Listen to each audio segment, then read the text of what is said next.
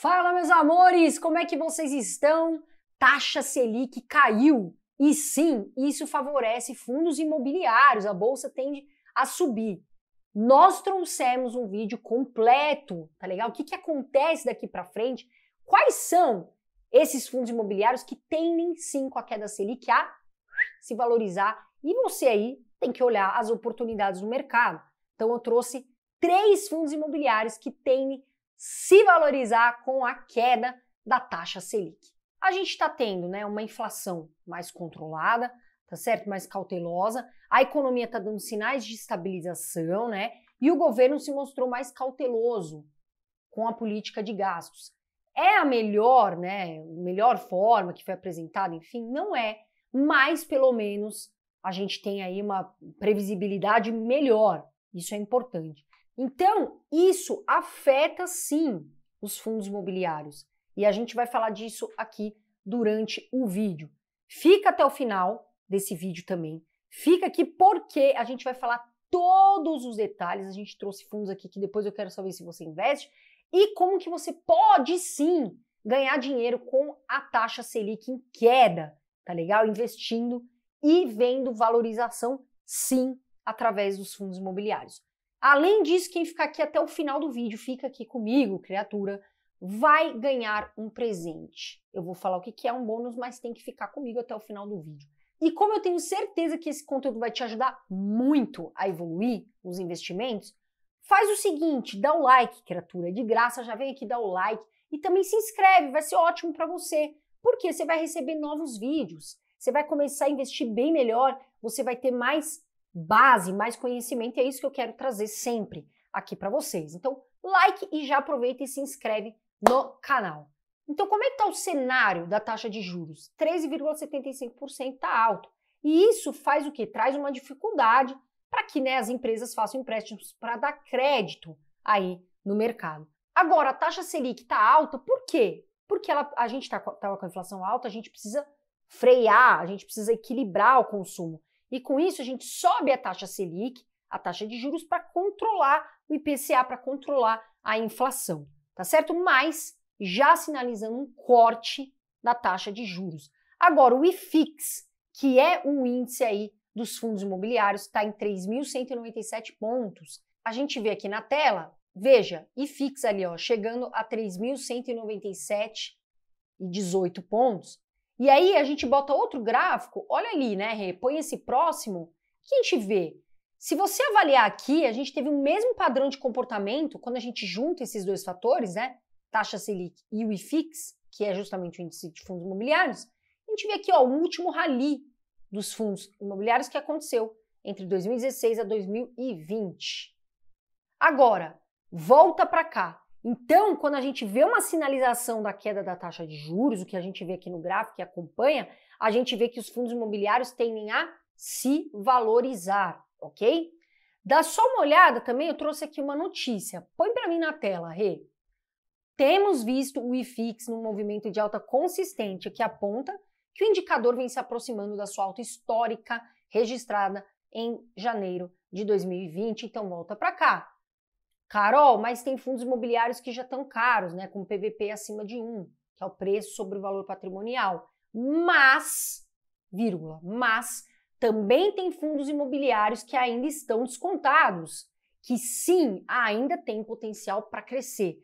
Na minha visão, tem fundos excelentes, inclusive, que ainda estão sendo oportunidades para crescer, para evoluir nesse durante esse caminho. A gente vai ver uma subida da bolsa de valores, sim, com a queda da taxa de juros. Então, tem ainda oportunidades. Agora, eu trouxe alguns fundos imobiliários que eu acho interessante, que eu quero mostrar aqui para vocês, e alguns dados deles importantes, e eu quero que vocês estudem isso. É valioso. E ver se faz sentido para sua carteira. Não é recomendação de compra, isso nunca vai ser uma recomendação. Não enxerguem como isso. A gente vai trazer aqui para você como base, para você estudar, tá certo? E eu trouxe um presente para você. Fica até o final do vídeo, vai valer muito a pena, eu vou falar o que, que é. Agora vamos falar o primeiro fundo. Coloca para mim na tela, Rê, que é o BCFF11, tá, gente? É um fundo do tipo de fundo. Fundo de fundos, ou seja, ele investe é, numa cesta de outros fundos. Vamos lá ver aqui a gente vê um fundo do BTG, banco super consolidado, e aí a gente avalia algumas coisas, olha lá, a cotação, que está em 72,23, excelente dividend yield aí nos últimos 12 meses, 9,32%, ainda mostrando o PVP abaixo de 1, descontado, 0,97, tem uma excelente liquidez diária, 2,45 milhões, e está valorizando. Veja, é um fundo que ainda está barato, mas está valorizando nos últimos 12 meses, 19,79%. Agora a gente vê aqui embaixo, né? Olha lá, a taxa de administração tem uma taxa, 0,15% ao ano. Um tipo de gestão ativa, ou seja, o gestor pode sim ativamente mexer ali no fundo, né? Se ele quiser investir em outros fundos para buscar mais rentabilidade. E veja, valor patrimonial 1,87 bi, tem bastante valor de patrimônio, pagou um último rendimento de 0,56.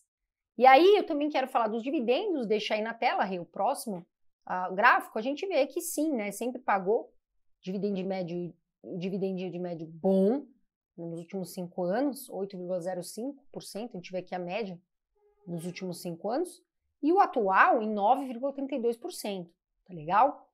Sempre importante, volta para mim, fundos de fundos é diferente de investir em imóveis. Tá certo, pessoal? Por quê?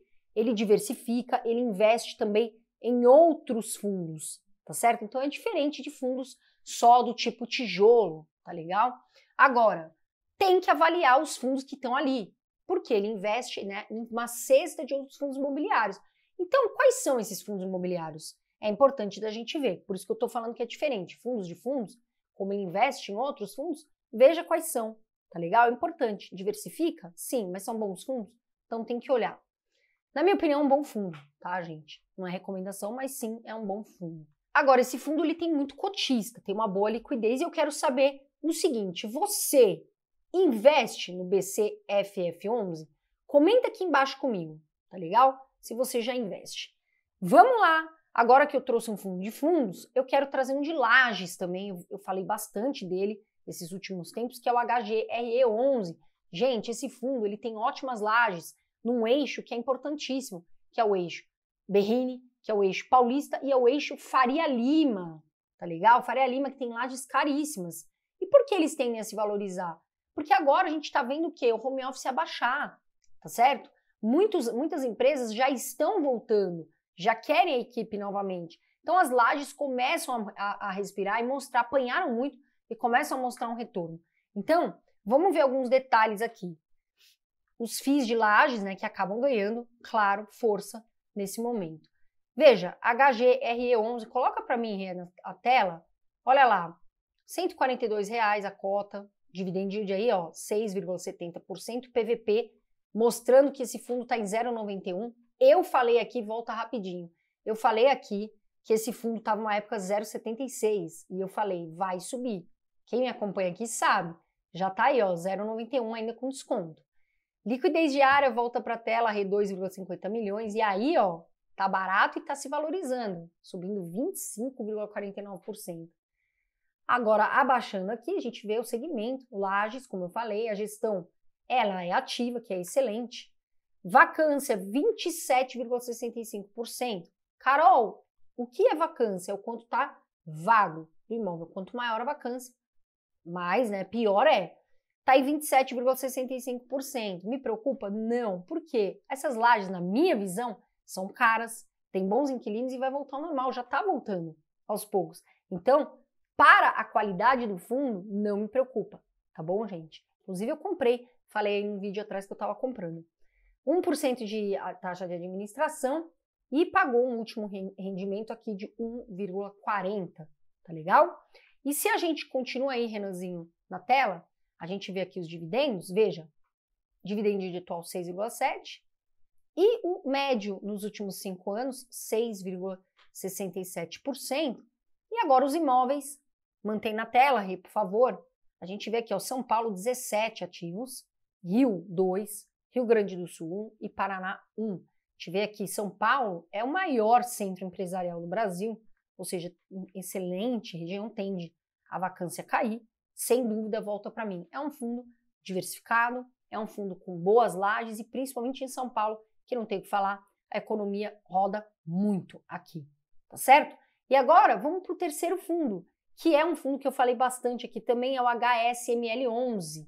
Esse fundo é um fundo do tipo shopping, de tijolo, e investe somente em shopping.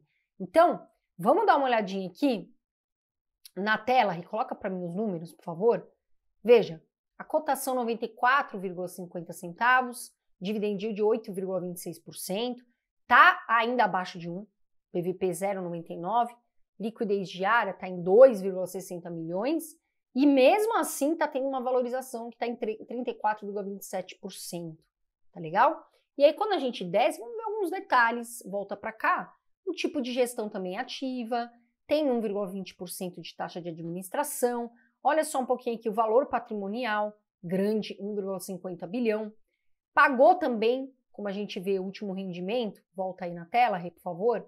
Olha lá, pagou um último rendimento de 0,74, tem bastante cotista. E se a gente seguir nos dividendos, nessa, nesse próximo gráfico, a gente vê, olha lá, o atual, 8,26%, e o médio em 5 anos, 7,12%. E lista de imóveis a gente vê, olha lá, tem bastante shopping, né, diversificado, tem dois shoppings em São Paulo, um em Minas, um na Bahia, um Acre, um Alagoas e um Rio de Janeiro, está nas principais capitais. A gente vê bons shoppings, a gente vê ali, ó, Shopping Grande Viana, Super Shopping Osasco, Shopping Uberaba, Shopping Metrô Tucuruvi. Então a gente vê aqui, são, são shoppings na capitais, nas capitais. Volta para cá. Então, pós-pandemia, os shoppings voltam a movimentar. Inclusive, eu fui esse final de semana, tava cheio o shopping, tinha bastante gente, estavam ali consumindo. E é lógico, a gente tem cinema, praça de alimentação. Shopping continua, na minha opinião, sendo entretenimento do brasileiro, não só para compra, né, roupa, enfim, mas também para se divertir, para levar as crianças. Aposto que vocês, muitos aí, pais, levam as crianças, mães também levam para se divertir, tá certo? Eu, particularmente, gosto muito desse tipo né, de setor shopping. Agora, se você quer saber três fundos imobiliários, mais três fundos imobiliários para você ter rentabilidade, ganhar dinheiro, lucrar com a queda da Selic, claro que eu ia trazer um presente, um bônus para você. Está aqui um relatório, está aqui embaixo no vídeo. É só clicar um relatório gratuito com mais detalhes desses três fundos imobiliários. Quais serão eles? Tá aqui, vai ler. Na faixa, vai ler, criatura. Tá certo? Um grande beijo de luz. Eu sempre falo, voa Brasil, a gente vai voar muito. Fiquem com Deus, quem investe o futuro agradece. Até o próximo vídeo.